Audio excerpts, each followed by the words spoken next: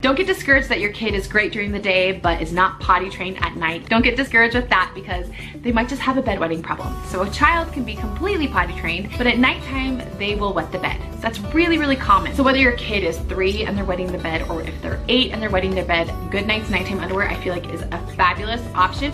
Ta-da! GoodNites is specifically designed for bedwetting. It is 40% more absorbent than the leading training pants. Double leg barrier helps prevent leaks and five layer protection helps them stay dry all night long.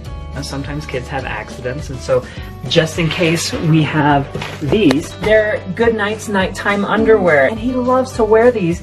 And it's just in case he, you know, wets the bed at night. So it's just a little confidence booster to help, and um, you don't get any of the nasty smells with you know, the diapers. They offer sizes extra small to extra large, so there's a fit for any of your child's sizes. And it also has super stretchy sides to it, and it also has a double leg barrier, so it's kind of like a double gusset and prevent leaking. And it, when your child moves and things like that, it just creates a better fit. These are specifically designed for bedwetting, and I feel like it does a great job.